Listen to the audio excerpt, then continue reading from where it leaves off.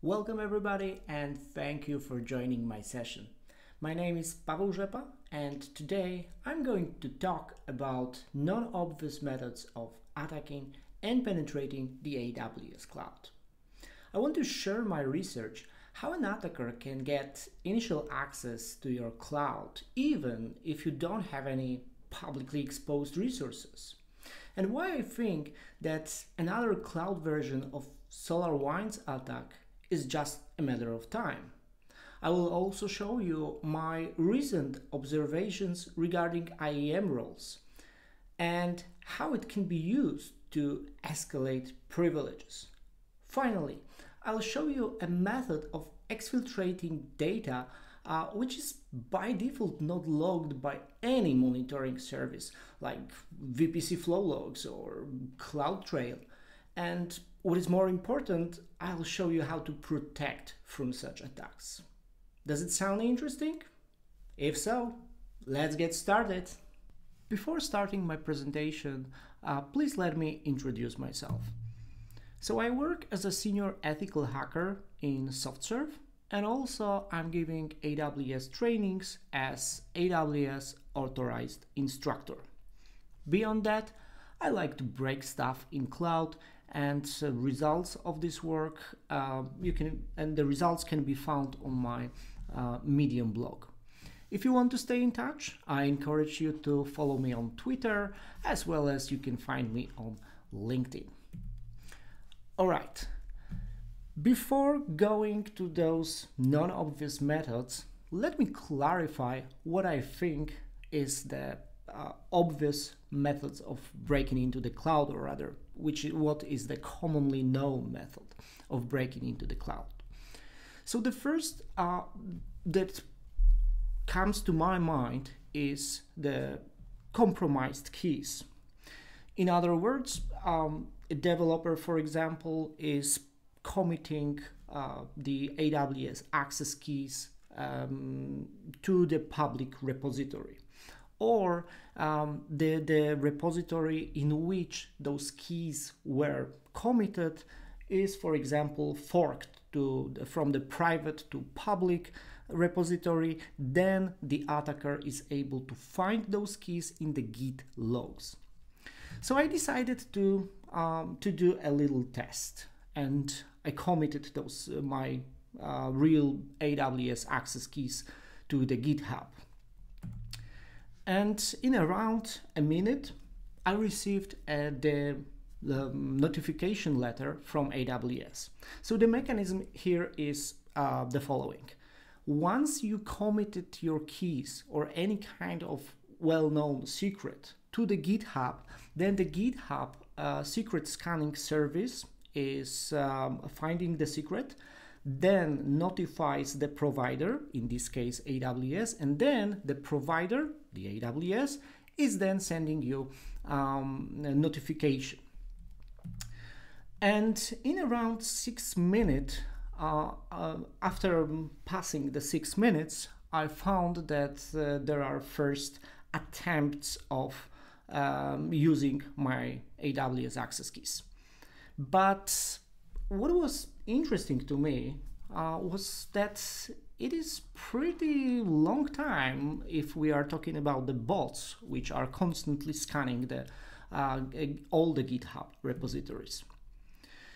What was also interesting to me uh, was that i found that um, aws not only sent the notification letter to me that my keys are compromised but also automatically added the AWS compromised key quarantine policy. This policy, as you can see, is generally uh, denying some dangerous actions. Of course, not all of them, but this is definitely a good step, good, good work um, done by AWS. What was also interesting to me was that uh, in the email I received from uh, AWS was not only about the um, notification that uh, hey your keys were compromised, but also an information that um, further information that hey, uh, we can see that there were three instances launched in your uh, in your region. So I was confused. Hey, how do you know that?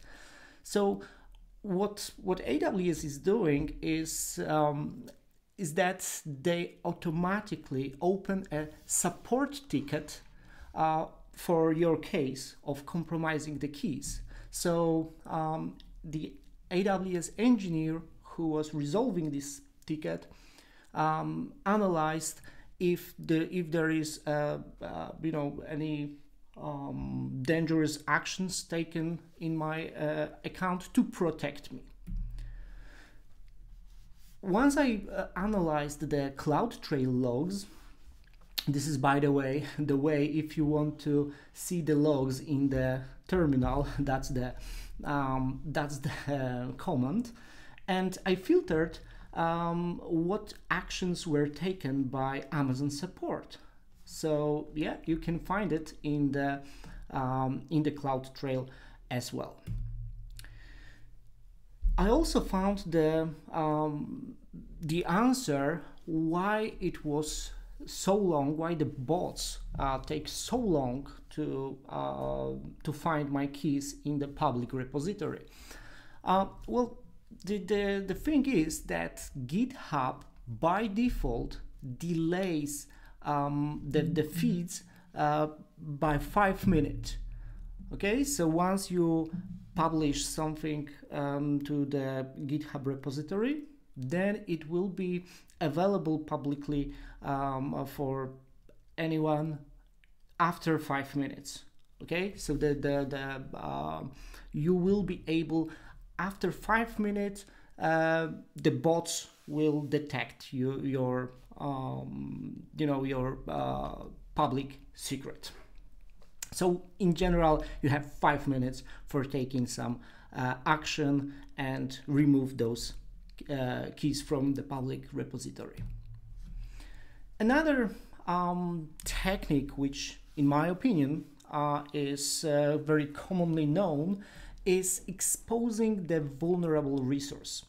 Um, by the by the vulnerable resource, I mean uh, that there's, for example, the web application which is hosted on the EC2 instance. This application is vulnerable to server-side re uh, request forgery or the re uh, remote code execution, or, for example, unintended proxy, because all those vulnerabilities allow the attacker to reach the instance profile keys which are stored in the EC2 metadata.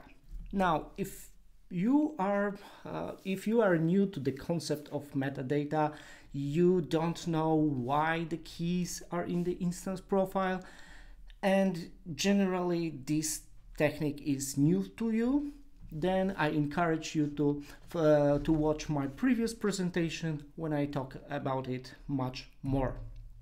If you want to read more about the um, uh, probably the most um, the most known uh, public example of uh, such attacks was the Capital One breach, where the attacker was um, using this technique to, to compromise uh, data of uh, many uh, Capital One users.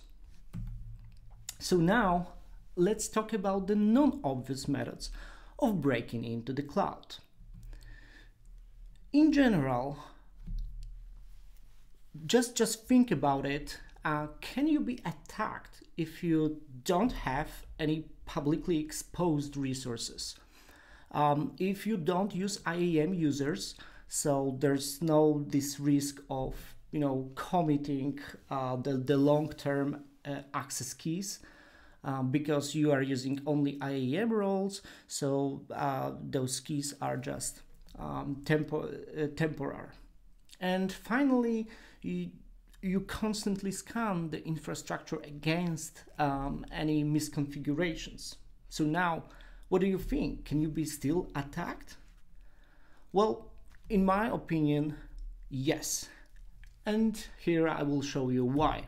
The main reason is because we trust people in cyber world. Maybe not people, but uh, the, the work we can find in the internet. So let me show you it on, on an example. Um, some time ago, I, I had the following problem. Uh, that uh, I was looking for solution that will automatically uh, rename the, the file which is uploaded to S3 bucket. Okay, so there should be the uh, up, uh, once a user uploads um, any file to S3 bucket, then it triggers uh, an event. An event triggers the Lambda, invokes Lambda, and then Lambda uh, modifies the, the file with the uh, adds the prefix and then the file is landing in the new file is um, overwritten the, the old one. So um, as a typical um, developer um, or um, rather beginner, um, I try to find the the ready to work solution in the internet. Okay, so many people are doing it. That uh, we are looking for uh, the solution in Stack Overflow, uh, maybe for working um, method in the npm package, but I couldn't find anything. So what I did, I created my own package, which I called the S3 rename. I put some, um, you know, some basic information about its usage. And uh, after more than a month, there was there, there were uh, more than 500 downloads of this package. I didn't announce it anywhere, just uploaded it to the um, to the npm.js repository. So here's the uh, proof of concept, uh, how how does it uh, how it works. So uh, here in the um, in my lambda, I used the uh, my S3 rename package, and the S3 rename package takes as an argument uh, the source uh, source bucket, so where the, the file is, from the uh, event file which invokes this lambda, and then the, the uh, name of the old file and uh, creates the uh, new name of this file. And after, after that, I was able to see that after uploading the test new PNG file, there is the uh, prefix is added. In logs, you don't see any, uh, any anything um, um, spectacular, just just some information about starting and ending the Lambda function. However, what I didn't tell you is uh, the fact that to the S3 rename package, I put this obfuscate this line of obfuscated JavaScript code. And uh, after the obfuscation, uh, this code is basically uh, looking for AWS access key ID among the environment variables um, because the Lambda function stores the, the access keys of the role which is attached to the Lambda function in the uh, environmental variables. Then if the so this package when uh, when you are running the s3 rename function then uh, first first of all, uh, this um, part of code is executed. So it looks for the AWS Access Key ID, and if there is such AWS Access Key ID, then please send it to my uh, server and put it as the key parameter. And then after that, I was able to see uh, the uh, AWS Access Key ID uh, on my server. Now, what was interesting uh, was that there was around 50 uh, of um, of the uh, attempts to to um, access my server. Um, what means that people were there there was the AWS Access Key ID uh, environment variable, and people were blindly using my package. Now, the idea of, of that uh, is, isn't new. So here I, I want to share with you the research about typo squatting. In general, um, a researcher created the, this similar um, approach but on much broader scale. So the researcher created uh, the, a lot of packages which are very similar to the um, uh, widely used ones. So for example, instead of coffee, uh, there was uh, um, there was uh, coffee with just one letter E. Those typos are um, are happen and this is normal. Everybody is doing mistakes. So once uh, this uh, the, the researcher created multiple packages uh, which are in the name which are very similar to the original ones and after after some time it he was able to catch uh, more than 17,000 of unique hosts okay so there were multiple um, multiple um, people, multiple companies um, run those uh, those maybe not malicious, but those packages prepared by the um, by the researcher.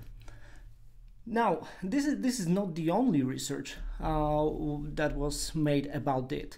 Uh, here, I want to share with you something uh, quite new uh, from this year that uh, one researcher named the npm package as a dash okay? That was the name of the um, of the package. It is possible in in, in npm uh, and there was uh, more than seven uh, 700,000 downloads. And probably the reason of that is uh, that when you put a space um, in put a space um, between dash space and um, some some uh, parameter. So, for example, instead of uh, putting dash and uh, some some flag, then you uh, by a mistake put a uh, press space, and that was installing the dash package. It's um, interesting how many how many people were did the same mistake. Now, another very interesting um, class of attack um, that is related with dependencies is the dependency confusion.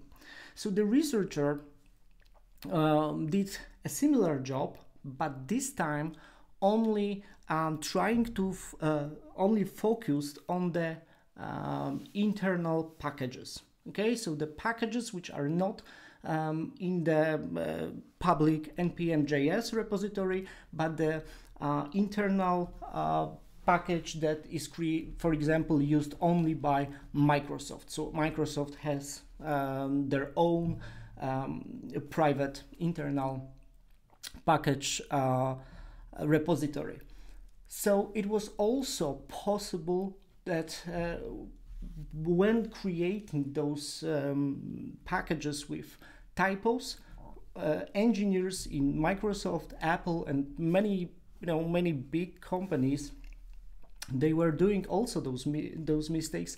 So they were downloading the uh, packages uh, from the uh, because it couldn't be found in the internal uh, package repository, then it was downloaded from the uh, public uh, repository. So the, the, the, code from the researcher was invoked uh, in inside of Apple, Microsoft, and other big companies' networks. So now let's move on to more AWS related stuff.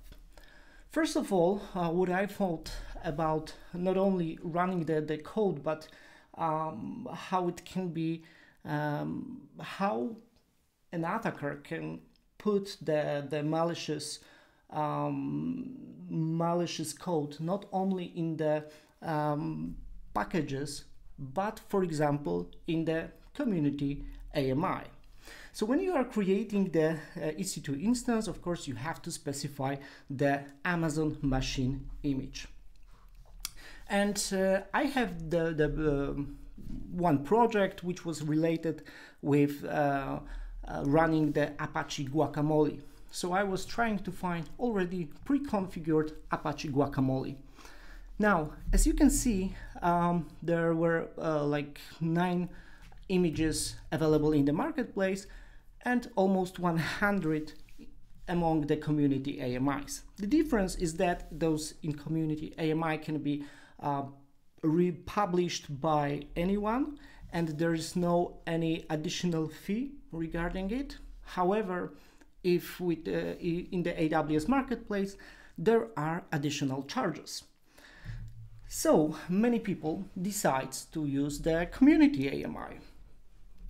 However, the, the difference is uh, not only in money, but if the AMI is pushed to the AWS marketplace, then this uh, AMI is scanned by AWS. Those AMIs in community AMI, uh, community AMI are not. So here's for here's an example uh, that one company uh, realized after five years that they are running uh, the AMI with working uh, cryptocurrency mi- crypto miner. So it was interesting that they, they found it after five years only because of that that they compared the, the speed the performance of the, this particular instance was much lower than um, than uh, performance of other instances so this is again this is great way uh, how an attacker can um, you know put any code in the, uh, in the AMI. Another example is the uh, application, um, serverless application repository. So if you are if you are familiar with the um, vulnerable uh, with the vulnerable serverless application, uh, then you probably know the serverless goat. So this is a great open source project to learn the, the, how to hack serverless applications. The problem is that anyone can um, can publish the, the project and put it in the um, in the uh, serverless application repository. And here is, is such example. All of those four applications are uh, released by different uh, accounts, okay, different AWS accounts. Only one of it uh, was released by the original authors of the serverless Goat. However, this project is no longer maintained. So, in um, in consequence,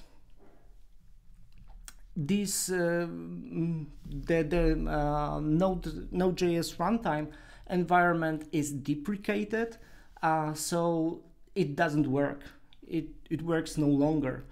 So the solution, and it was reported in the issues on the GitHub repository, uh, and the solution was, hey, just you know type in the uh, choose the AppSec serverless Goat, and this is the working version because somebody you know fixed it and published it. But the same thing could be you know done by anyone. So the the attacker can you know publish the uh, any kind of serverless application. You can name it as you want. All of them has the same, you know, uh, the same description. And then people are running it um, in their hope so uh, sandbox environments. Another thing I want to um, um, I want to, to, to pay attention uh, to another thing, which is the uh, IAM roles. Very often, when I was doing the uh, security assessment uh, and I was reviewing the, the roles, the trust policy of the roles, then the, the role could be uh, assumed by multiple accounts. And uh, usually it took a couple of days um, for administrators to, uh, to find who is the owner of this you know this account id usually it was the third party um, so the, the third party you know because they they, uh, they are integrated uh, with uh, with the internal solutions so the so they, they need the access okay? So for let's say the uh, third party which is responsible for um, reviewing your CloudTrail logs then they need access to your um, to your for example S3 bucket with the logs and then um, they are doing their job. But very often also um, in my cases um, the customer was after several days found that okay we no longer have uh, we no longer work with this particular uh, third party uh, so it only lives there because somebody forgot to, to remove this access. And I think that this is very common practice. There is even a research about it, and the results are really astonishing. So, a lot of companies uh, which work with third parties, which is normal and of course, uh, typical. But those third parties very often asks for the too much, um, too too big privileges. So here, I, I don't want to you know name who is the the owner of this recommendation, but it was found uh, on the website of the third party, and uh, they um, they wrote the documentation how to integrate their solution uh, with uh, your AWS solution. So in their documentation, there was something like that. That recommended way to grant access to this third party was to create the, the role with the read-only access.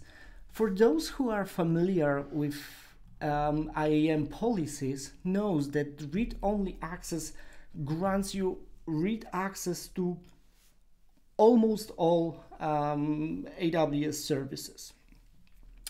So uh, it is and and the third party required only the read access to one S3 bucket, and usually um, that's that's the problem that companies uh, that those third parties have access, read access to a lot of confidential data.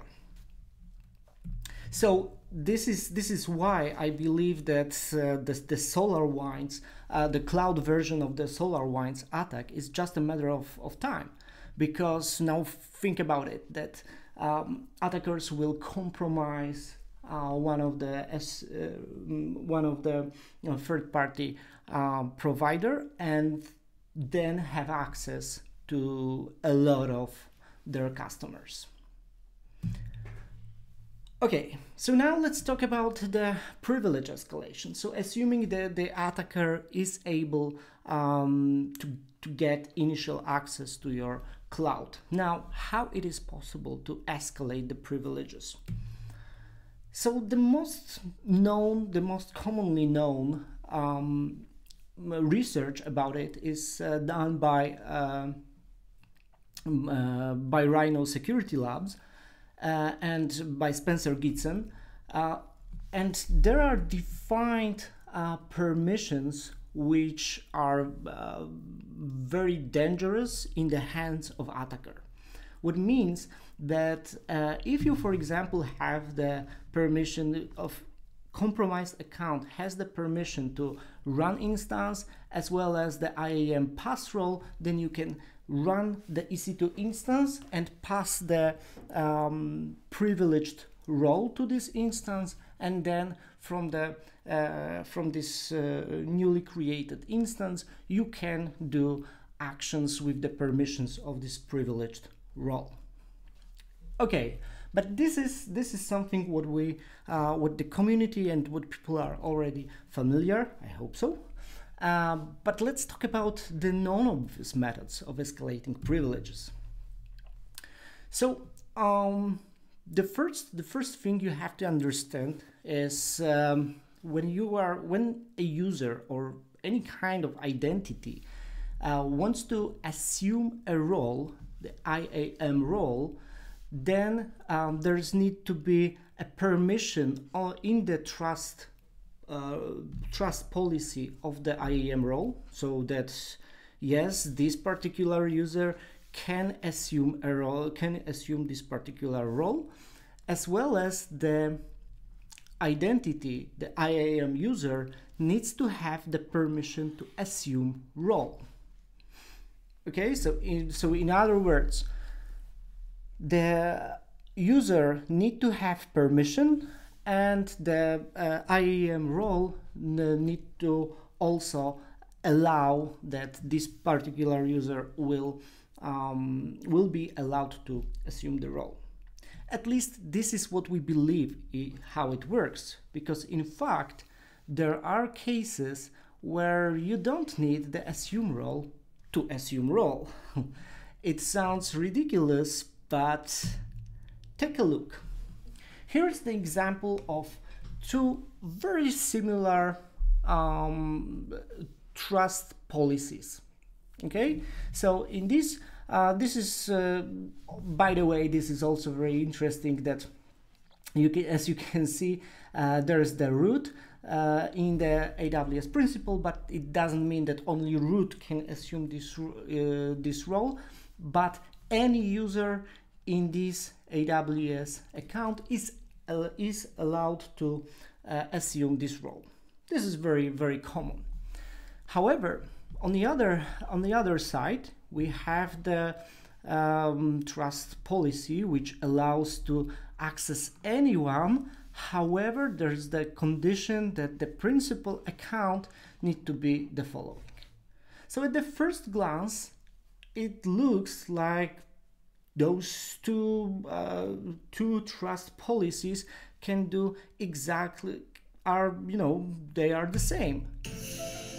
But the problem is that sorry, but the problem is uh, that they are not the same because when you are using the um, wildcard in the principal, then the user doesn't have to doesn't need to have this assume role because it is granted by the trust policy. Now that may be um, quite um, confusing uh, because when you are using when you are uh, putting the wildcard in the principal uh, section, then the trust policy works like a resource policy. And the resource policy can grant a permission to the identity. What means uh, if we take, for example, um, the, the, the, the, following trust policy was very often, uh, well, very often, can be found in the uh, accounts which uses multiple AWS accounts, for example, in the AWS organizations. It was quite common and I think is still quite common because even on the um, official AWS uh, security blog, it was uh, presented as an example um, to, to how to create the role for every AWS account which is in this particular organization. Uh, as you can see, it is now, I'm referring to the uh, web archive because um, after publishing um, my finding, um, then it was removed from the official um, blog, which of course is very good. But that's not the only way how you can find this strange behavior in that uh, in the trust policy. If you put um, not only wildcard, but for example, the, uh, the resource number of the role in the trust policy, then this role doesn't need to have the, the STS assume role permission. Okay, so I know that it may sound confusing, so let me uh, show it uh, on the on the uh, little example. Uh, here will be the demo that uh, let's say the attacker was able to compromise the unprivileged IAM user. and then this user, because there is the um, trust policy uh, with the wildcard, then this uh, unprivileged IAM user is granted with the assume role from the trust policy. Uh, and then there's a, a uh, principal uh, ID in the um, of other role, privileged role. There's a reference from this maintenance unprivileged role. And then in this way, uh, the attacker will become the administrator. Okay, let me show you uh, how does it work. So here we have the uh, compromised user. As you can see, this user has no permissions, absolutely cannot do anything, okay? There's no policy attached to it. There is also the maintenance role. And this maintenance role only have the read-only access and the trust relationship is as you can see there is the wildcard in the principal and it is limited only to accounts in this particular organization so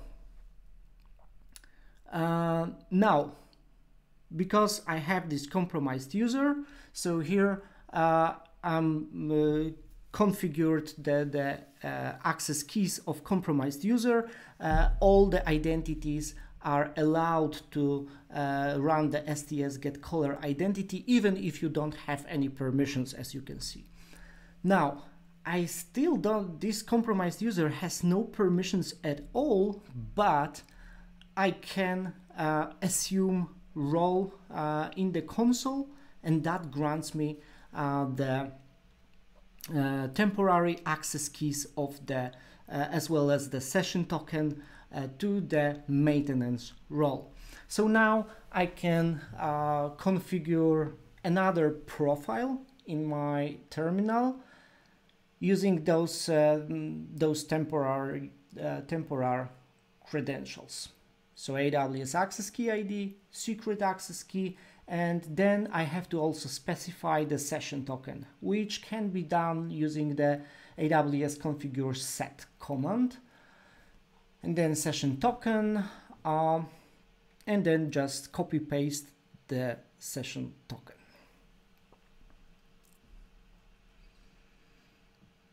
And of course, uh, in the name of profile maintenance role. So now let's take a look if we are, uh, if everything works well. So now we are running the STS get caller identity, but using the profile maintenance role, which we uh, configured uh, a moment ago. Okay, as you can see, where I can run the, the now all actions as the maintenance role. But on the same account, there is also the admin role. And if we take a look on the trust relationship of the admin role, you can see that the, the principal is um, the role maintenance role. Okay, so now if I'm using the maintenance role, as you remember, maintenance role had only permissions, uh, the, the read-only permissions. There's no STS assume role permission to this role. However, I'm allowed to assume the admin role because in the principle there is uh, the direct reference to, to this IAM role. Now, for me, it is uh, it is a, big problem of inconsistency. Um, I reported it to, to AWS. Uh, I talked with, with them um, so I believe that soon there will be uh, released some um, some official solution to it, uh, but now it works as it as it is. All right, so now assuming that our attacker was able to get initial access and then escalate privileges, then there's another problem of exfiltrating data. Of course, once you have the access to this um, to this um, compromised AWS account, then you can exfiltrate data using multiple ways. Uh, like for example uh, pushing all this uh, sensitive stuff to, to uh, your own S3 uh, bucket um, or just um, doing the, the snapshot of the RDS instance and then uh, sharing it with uh, the attacker's account. A lot of ways how to do it, but um, but all of those actions are logged by the AWS CloudTrail or at least uh, VPC flow logs uh, detects all those uh, actions of exfiltration. However, uh, what is lesser known method is that you can steal the data which will not be um, which will not be detected by all those monitoring or logging uh, services. Okay, let me explain it.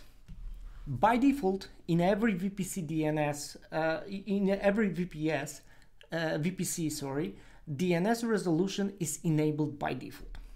What means that once you uh, spin up the new EC2 instance uh, in your VPC and you are uh, write the command uh, ping um, amazon.com then the, the amazon.com name will be uh, automatically resolved.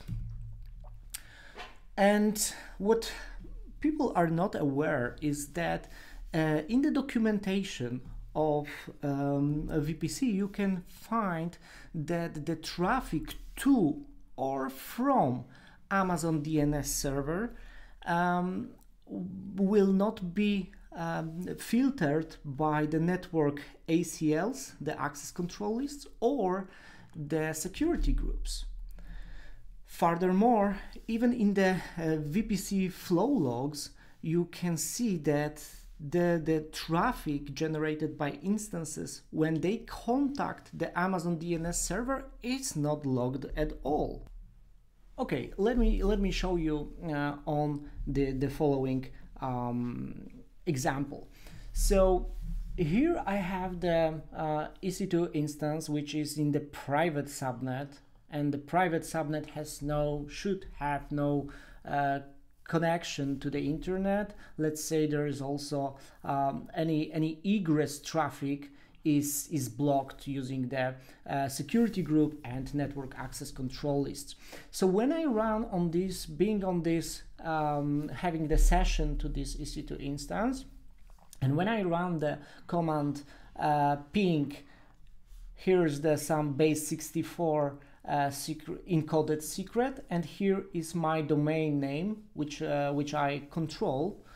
Um, and the, the, the, this command of course will not um, give any ICMP response.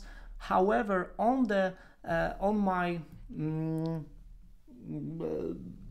DNS server uh, logs, I can see that this uh, this name was tried to resolved. So in this way, I can see that the uh, this base64 encoded secret on my uh, Rzepski.com DNS server. So you can do, uh, you can go even uh, a step further and create a reverse shell over DNS. So as you can see, I used the DNS cat uh, tool uh, and I was able to, to uh, get the reverse shell to such um, isolated EC2 instance which shouldn't have any access. Um, how if you want to uh, repeat this, uh, like do it by yourself, then uh, you can run uh, my version of the DNS Cat 2 um, because this uh, the official one DNS Cat 2 uh, is no longer maintained. the good news is when when I was doing you know the the um, the, the single queries to my rzepski.com domain, it wasn't detected by by any service. However, once I run the, uh, the, the reverse shell over DNS, then the AWS guard duty uh, detected it. So that is definitely um, a good news. So um, it will be so only when the high volume in the DNS is is sent, then guard duty will help you. Um, however, it, it requires uh, further um, investigation. Uh, what does it mean, the high volume, and to what limit you can still uh, send data over DNS and being undetected. All right, so now let's talk a little bit about the defense. Uh, so in this year, at the end of March uh, in this year, uh, there was announced the Route 53 uh, Resolver DNS firewall. And this is the, the server, uh, the service which is designed to help you um, to um, basically to, to uh, fix this, this gap in the DNS traffic. It allows you to allow, block, or alert uh, any any uh, you know any queries to uh, using the DNS uh, protocol. So, for example, here I'm uh, I want to see in my uh, CloudWatch log stream. I want to see all the query, all the DNS queries that are sent. And thanks to Route 53 Resolver DNS firewall, you can now see this DNS traffic. You can also uh, block or allow. So for example, only the uh, traffic to some domain is allowed or um, traffic to some domain is blocked. Um, and what about other um, mitigations? Then um, I would recommend you to to, uh, to reviewing uh, your um, trust policies if you are using, of course, third parties. Um, and review the, the permissions they have and to, to verify do they really need such broad uh, permissions um, audit your current trust policies because uh, it may be uh, pretty common that you some AWS account uh, from the old projects um, or um, from third parties which you no longer use, they still have access to your roles directly to your roles. Um, there is also a, a, a, interesting service which is called the IAM Access Analyzer, which will show you uh, uh, who uh, from the exter- who externally accessed your uh, resources. And finally, for reviewing permissions, um, I find very helpful Cloudsplaining. So I also uh, put it here. Uh, this is the, the open source tool uh, made by Salesforce. I think this is very, very nice tool. And um, yeah, I hope it will, it will be helpful for you.